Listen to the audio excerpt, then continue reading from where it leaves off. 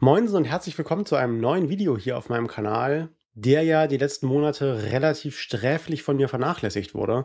Das hatte den Hintergrund, dass ich hier in Kiel den Hardware Freedom Day besucht hatte und das zum Anlass genommen hatte, auch mal meinen Videoschnitt auf Linux umzustellen.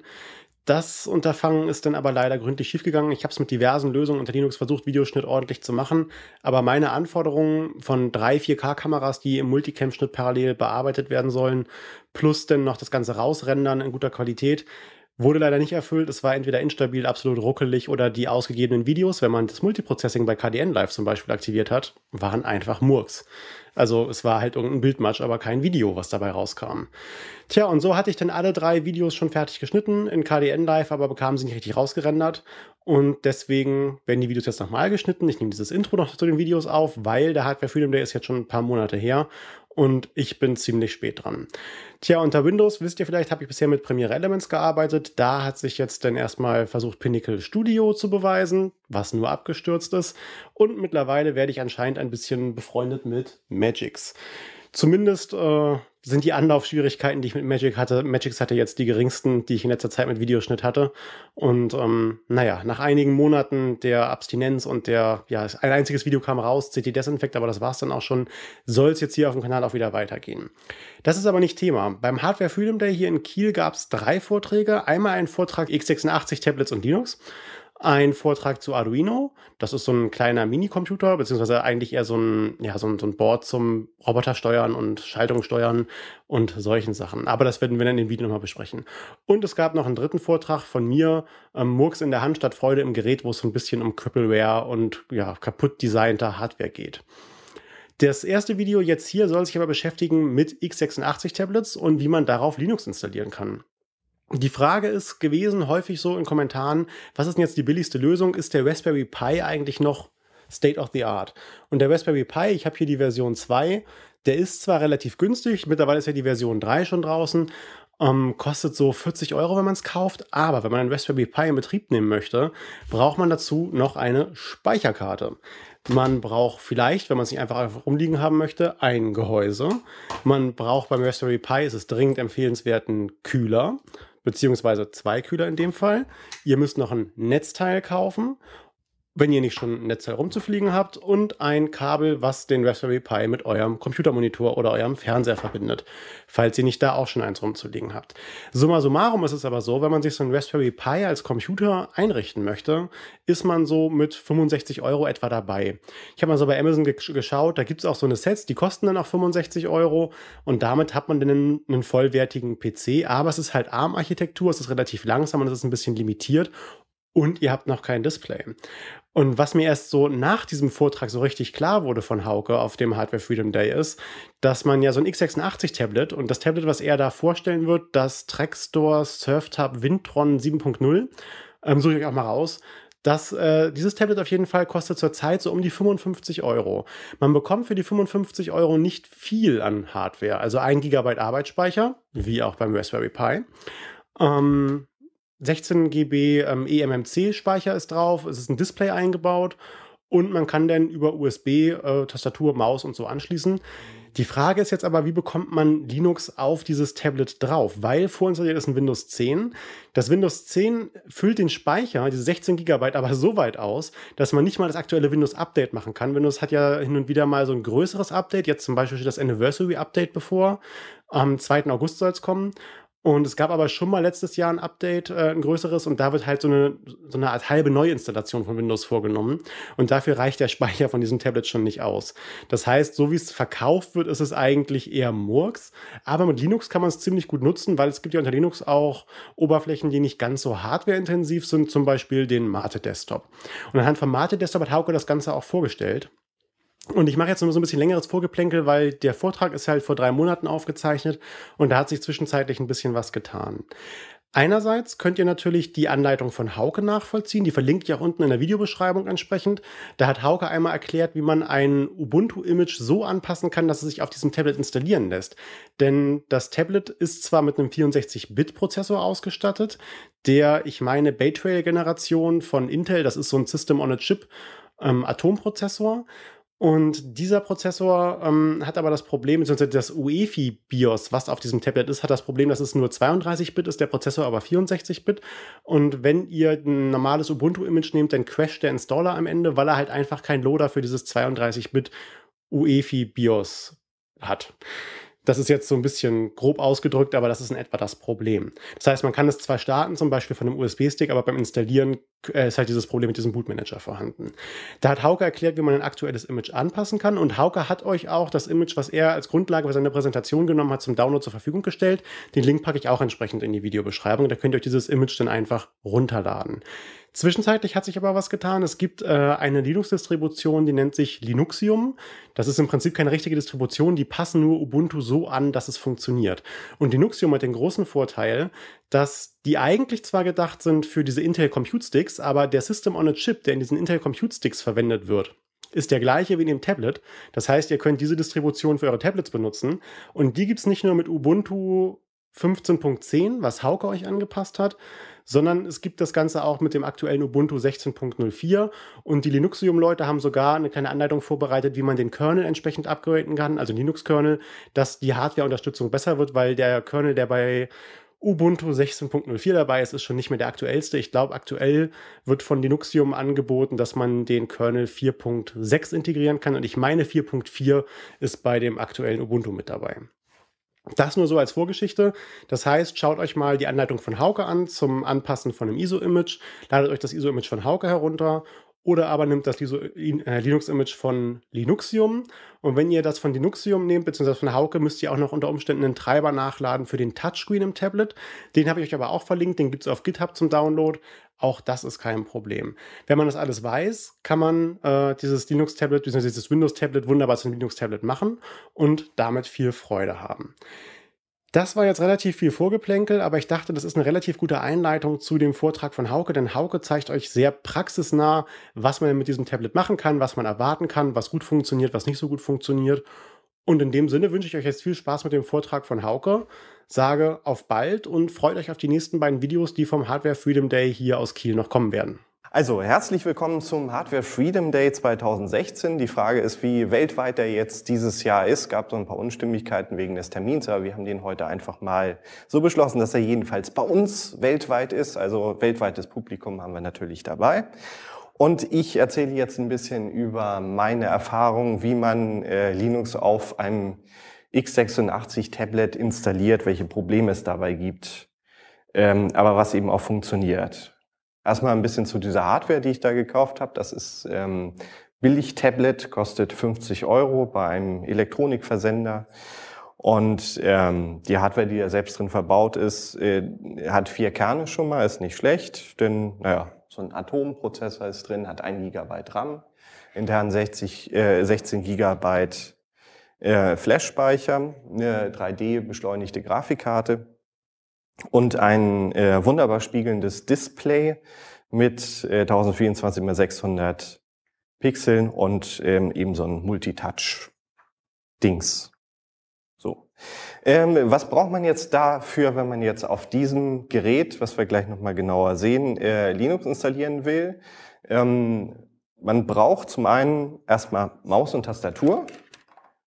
Bisschen untypisch für ein Tablet, aber zum Installieren braucht man es auf jeden Fall. Und ganz wichtig ist ein aktiver USB-Hub. Denn äh, wenn ich keinen aktiven USB-Hub äh, habe, ähm, ja, stürzt mir schon das Gerät einfach aus wegen äh, akutem Strommangel. Dann brauche ich noch ähm, ein USB-Stick, wo ich äh, die Installationsdateien draufschmeiße für die Linux-Distribution, die ich mir ausgewählt habe. Und praktisch ist natürlich noch eine Micro-SD-Karte. Wenn ich jetzt auf dem Gerät irgendwelche Screenshots mache oder größere Dateien mal austauschen will, ist SD-Karte halt netter, als wie ich das über WLAN mache.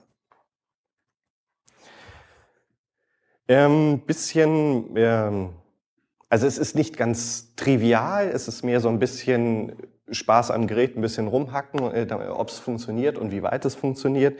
Äh, also es funktioniert letztendlich überwiegend. Ich habe nachher noch eine Liste, wie es geht. Also man nehme erstmal ein Linux-Installations-ISO. Ich habe jetzt einfach Ubuntu Mate genommen. Wichtig ist, dass man die 64-Bit-Version davon nimmt.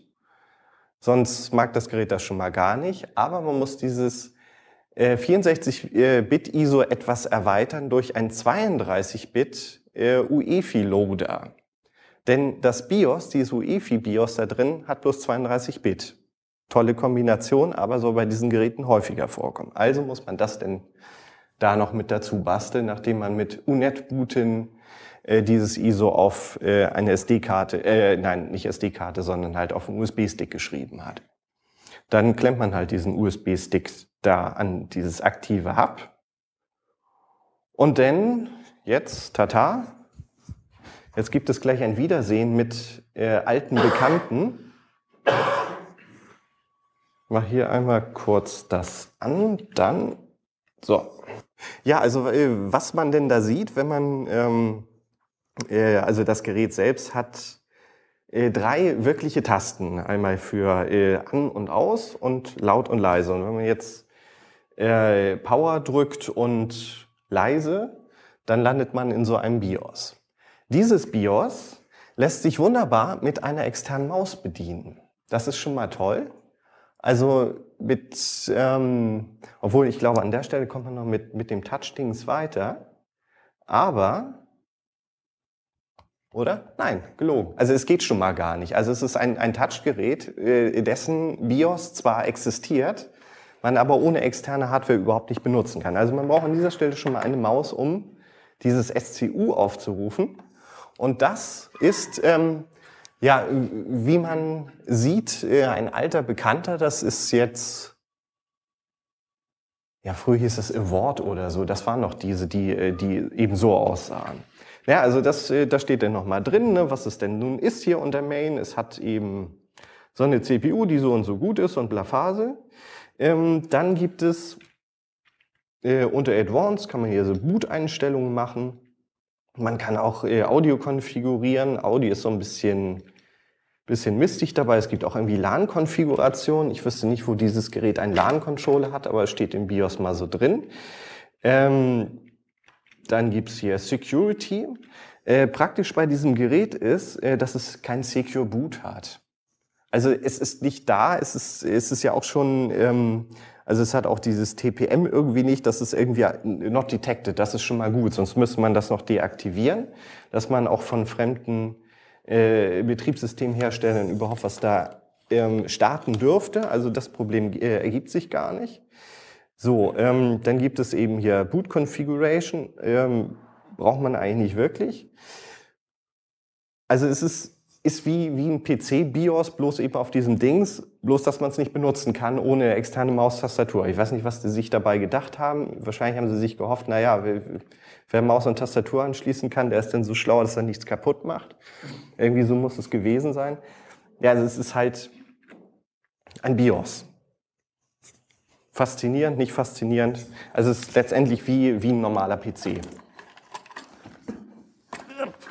So. So, was haben wir denn als nächstes? Ähm, also nachdem man dieses ISO auf, die, äh, auf den USB-Stick geschrieben hat und ähm, dieses äh, EFI, äh, 32-Bit EFI mit dazugepackt hat, bootet man es halt, äh, halt hoch, also den ganz normalen Installer. Das läuft eigentlich auch alles so weit, wie, wie man es vom Rechner halt kennt. Das Problem ist, dass dieser ähm, äh, Ubiquiti äh, Installer, den man von Ubuntu her kennt, am Ende abstürzt, weil er mit diesem äh, mit dem EFI-Modus nichts anfangen kann. Dann äh, installiert man Grub über so eine Zeichenkette einfach nochmal und dann ist alles gut. Man muss es bloß finden, ist im Netz auch alles dokumentiert. Und äh, diese Partitions, äh, dieses Partitionslayout, ähm, was da schon vorher drauf ist, das kann man an sich so lassen. Wichtig dabei ist, dass man diese Systempartition, also dieses, diese EFI-Partition nicht löscht, nicht, nicht modifiziert, einfach so lässt. Dann gibt es äh, eine fast 14 Gigabyte große Partition, die kann man neu formatieren und da das Betriebssystem draufschmeißen. Bisschen Swap ist auch noch gut da, äh, dafür, denn halt diese andere Partition, die auch schon da ist. Letztendlich habe ich bloß zwei Partitionen genommen und neu formatiert und gesagt, hier installiere das Betriebssystem und gut ist.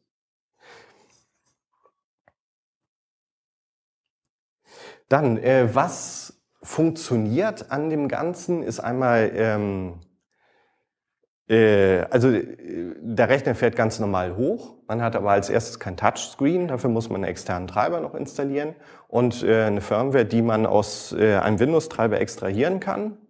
Der ist direkt auf, auf der Homepage halt angegeben. Da gibt es so ein Perl-Skript und das extrahiert das da irgendwie draus. Das muss man da irgendwo reinbauen. Also es ist auch alles dokumentiert. Ich wollte das jetzt nicht vorkauen. Ähm, und beim WLAN ist es halt auch so. Da gibt es äh, einen, einen Treiber, das ist äh, so ein, so ein Realtek WLAN irgendwas. Äh, das funktioniert auch. Dann gibt es direkt von Intel 3D-Treiber für dieses Gerät. Kann ich ja gleich dann nochmal zeigen. Es ist irgendwie ganz nett, dass, dass das eben auch funktioniert auf diesem Gerät. Äh, was jetzt quasi noch in Arbeit ist, ist die, Soundkarte, das funktioniert nicht. Da beißen sich auch die Intel-Entwickler im Moment noch ein bisschen die Zähne dran aus. Die haben es bis jetzt noch nicht hingekriegt. Da sinnvolle Patches für zu bauen, die nähern sich zwar immer irgendwie an, jetzt geht mal ein bisschen was äh, an der Funktion, aber woran es jetzt hundertprozentig liegt, keine Ahnung, ist noch nicht so raus, aber es ist in Arbeit. Energiesparfunktion, darum habe ich mich jetzt noch nicht gekümmert. Da, äh, da gibt es wohl einen Kernel-Patch. Denn das Problem bei dem Gerät äh, ist, sobald er einmal in, in Standby-Modus geht, das gibt diese C-States, wo er dann runtertaktet und dann äh, ähm, irgendwann friert das System halt komplett ein. Also solange man ihn beschäftigt, ist alles gut. Aber wenn er meint, naja gut, jetzt ist nichts zu tun, ich takte jetzt mal runter, gehe jetzt mal so ein bisschen aus, dann, dann war es das komplett. Dann hilft eben bloß ein Hard Reset, also diese Power-Taste festhalten, wie man es halt kennt. Fünf Sekunden festhalten oder da ist es ein bisschen mehr und dann wieder äh, hochfahren und dann läuft das wieder. Also Bluetooth äh, soll wohl funktionieren, hat mich nie interessiert. Ich habe mir jetzt zwar einen Lautsprecher ausgeliehen, aber das ist auch alles. Und äh, es gibt eine äh, Kamera auf der vorderen Seite und eine auf der Rückseite. Aber was ich davon gesehen habe, ist die Kamera sowieso so schlecht und das hat mich jetzt auch nicht interessiert. Ich will das Ding eigentlich bloß in die Küche nageln und dafür brauche ich keine Kamera. Ich habe die Kamera sogar abgeklebt. Das soll gar nicht funktionieren. Ähm, was ich verfolge, ist unter äh, dem Ubuntu-Forum ähm, da gibt es über viele, viele Seiten Leute, äh, die sich darüber unterhalten, wie sie ein ähnliches Gerät, also äh, von Asus gibt es ein, äh, eins, wo fast die identische Hardware drin ist und wo sie eben versuchen, das drauf zum Laufen zu kriegen, wo, ja, also da ist auch dokumentiert, wie sich einer mit dem Kernel-Entwickler von Intel da äh, unterhält und sowas alles. Äh, das ist relativ interessant und das ist da, wo man dann auch mal gucken kann, aha, das und das funktioniert jetzt schon ein bisschen mehr und dann kann man mal dieses und jenes ausprobieren. Das ist ganz gut und ähm, als ich dieses Ubuntu ISO mir da angepasst habe, habe ich das mal mit äh, aufgeschrieben, wie, wie man das so macht, dass man dieses ISO hinterher auch weitergibt. Äh, also so modifiziert und hinterher weitergeben kann. Also ich habe das jetzt so gemacht, dass ich diese ganzen Treiber direkt eingebaut habe, so dass ich das nicht normal muss. Ähm, aber das ist eben auch noch nicht so hundertprozentig fertig. Es ist eben bloß so ein kleines Bastelprojekt, was ich mal so hin und wieder verfolge. Gut, dann ähm, zeige ich einfach noch mal ein bisschen direkt bei dem Gerät. So, und das ist eben jetzt dieser Grub Bootloader.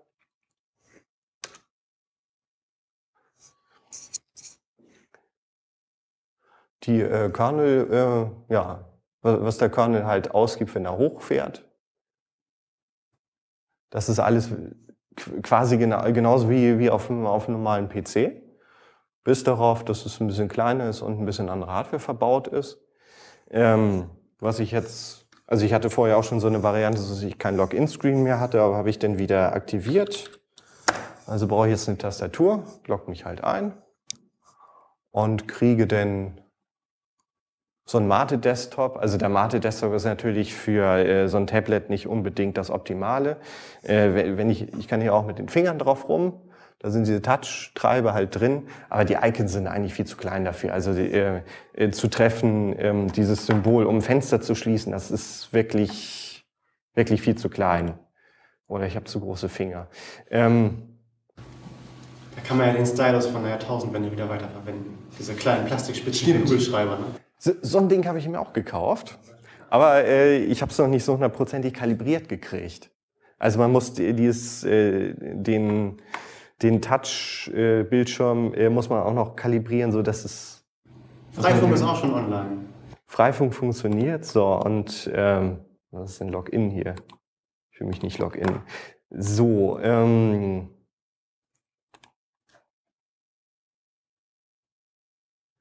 ja, ich habe mal ausprobiert, was das Ding halt kann. Also Megaglass ist so ein 3D-Echtzeit-Strategiespiel. Äh, Und die, dieses Intro mit, den, mit dem ganzen Regen, ich weiß nicht, wie gut man das da jetzt sieht, aber äh, das läuft schon mal fließend. Ich habe das schon in, bei größeren Rechnern äh, schlechter gesehen. Und ähm, mal gucken. Also es ist also es funktioniert eben auf, auf dem Gerät. Also äh, der allerschlechteste Grafikchip ist da nun nicht drin, aber es wird nachher auch leicht warm, wenn man es ein bisschen länger laufen lässt. Und ähm, da ich jetzt hier Maus und Tastatur angeschlossen habe, läuft das Ganze eben auf, auf Akku.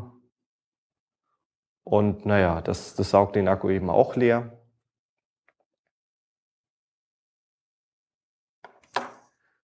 Ja, und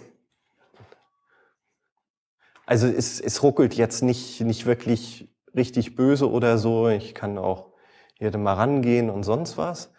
Also das, das, das klappt schon ganz gut. Also das haben die von, von Intel gut gemacht. Diese Treiber, die es dafür gibt, die sind auch eben frei. Da gibt es ein, ja, ein PPA für, dass man die halt eben auch über einen Paketmanager installieren kann. Also das funktioniert gut. Kann natürlich auch äh, ja sowas wie LibreOffice, das geht auch. Die SD-Karte oder diese ähm, keine Ahnung was, also dieser äh, SSD-Chip, der da eingebaut ist, der ist auch relativ zügig. Also ähm, von der Magnetplatte startet LibreOffice jetzt nun auch nicht schneller. Also das, das geht und wenn es gestartet ist, kann man es auch benutzen. Also ist ja nicht so, dass man, ne, gut, wenn man jetzt irgendwo hinkommt und kommen auch Dinge. Ähm, wenn man das jetzt wirklich über Touch machen würde, habe ich mal ausprobiert, was es für, äh, naja gut. Ich mache das, also ich, ich öffne das jetzt mit dem Finger, sieht man ja. Ähm, also es gibt halt so Virtual Keyboard, kann ich denn eben Buchstaben tippen. Aber es ist, also schwierig wird es jetzt hier mit, mit diesen Icons. Ich müsste es jetzt sehr klein machen. Hast du das mal mit Ubuntu direkt ausprobiert? Die haben doch mit diesem Konvergenzmodus wohl auch die Möglichkeit, irgendwie auf Tablets halbwegs brauchbare Bedienelemente anzuzeigen, oder? Also ich habe versucht, Unity nachzuinstallieren, aber das hat irgendwie nicht, nicht funktioniert. Also äh, was ich nochmal ausprobieren wollte, ist dieses, ähm, dieser äh, Desktop von Elementary OS. Der hat wohl auch so eine Ansicht, so dass man ähm, äh, ja so ein Raster hat, wo denn diese die, die Anwendungen halt drinstehen, so dass man die auch irgendwie umgruppieren kann, so wie man es quasi von Android kennt. Also sowas ähnliches. Das wollte ich nochmal ausprobieren, aber habe ich eben noch nicht wirklich gemacht. Also es ist im Moment einfach bloß mal ausprobieren, was geht davon. Und bevor die da dieses Soundproblem nicht wirklich gelöst haben, äh, ist meine Motivation jetzt auch gar nicht mehr so groß, da was zu machen. Das, das, das bleibt dann ein, einfach erstmal liegen. Ähm, was, was, hast du für eine Ubuntu-Version genommen? Ja? Das ist jetzt äh, 15.10, also diese Wegwerfversion. Also vielleicht das, äh, das 16.04, wenn das jetzt rauskommt, vielleicht ist das schon wieder ein Tick besser. Ich werde das irgendwann mal ausprobieren. Aber ähm, wird von, also die, die, der Kernel da drin wird auch die Soundkarte nicht unterstützen, das ist schon klar. Also Handarbeit ist da immer noch bei. Was für Anwendungsmittel ist du denn für das Tablet? Also ich könnte mir das gut vorstellen für 50 Euro, dass man da irgendwie im Webbrowser im Fullscreen-Modus seine Heimsteuerung drauf laufen lässt und mhm. das dann an die Wand nagelt und dann da benutzt. Genau. ich meine, 50 Euro ist ja auch nicht wirklich mehr als ein Raspi. Genau, richtig. Und dafür kriegst du kein Display. Das ist schon mal mit drin. Und äh, gut, du hast, du hast dann keinen Ton, aber brauchst du denn äh, dafür, dafür unbedingt Ton? Äh, vielleicht auch nicht unbedingt. Ähm, Wäre schön, wenn es geht. Ne? Also mein Hintergedanke war dabei, ich äh, schraube das Ding in der Küche einfach dran und wenn es in die Suppe fällt, na gut, dann sind halt 50 Euro weg, aber nicht gleich 250 und damit äh, ist denn die, die, die Mission von dem Ding auch, auch erfüllt. Also ich habe auch keine großen Erwartungen daran gehabt. Das war, äh, na gut, kostet 50 Euro, kannst nicht viel bei verlieren, probier's mal aus. Vielleicht ist es ein spaßiges Projekt. Ja, du könntest immerhin noch einen Stream auf das Internetradio nebenan machen. Genau, wenn es Ton hätte, ja. Ach, ach so, umgekehrt. Ach so, gut, ja, okay. Ich, ich kann natürlich auch über Bluetooth da äh, Boxen ranklemmen, könnte ich auch. Ja, also gibt, gibt viele Möglichkeiten dabei, das denn doch noch irgendwie zu machen. Aber ja, genau. Ja, sonst so wirklich tolle Sachen. Es ist halt ein, ein, ein Ubuntu, wie, wie man es halt so kennt, bloß eben jetzt im, im Mini-Format. Ja, noch irgendwelche Fragen dazu? Die KDE-Leute haben doch auch so eine Tablet-Umgebung mal irgendwie angefangen. Läuft das vielleicht? Bei KDE 4 ist sie doch, glaube ich, fertig. Bei KDE 5 ist die eher noch so in den Kinderschuhen, ne? Ich bin mir nicht sicher. Es gibt ja irgendwie dieses, dieses ähm, Netbook Remix oder so irgendwas davon. Ja, das war, glaube ich, bei KDE 4 damals der Name, aber bei KDE 5 bauen sie jetzt auch sowas nach wieder. Okay. Also ich habe es mal wirklich ausprobiert und ähm, Das könnte man sonst mal testen, das wäre ja mal interessant dann. Aber KDE ist auch wieder ganz schön gewichtig, ne? Genau. Also von daher habe ich eben auch Mate genommen, damit es dann nicht gleich den, den ganzen Rahmen auffrisst. Ich, ja, kann man ja alles ausprobieren. Ne? Das ist eine Frage der Zeit. Warum nicht? Gut. Ansonsten wäre das erstmal so, so weit, wie ich da vorgedrungen bin. Und in diesem Forum ähm, wird sich da ja wohl irgendwas noch mal tun. Jo, gut, dann vielen Dank für die Aufmerksamkeit.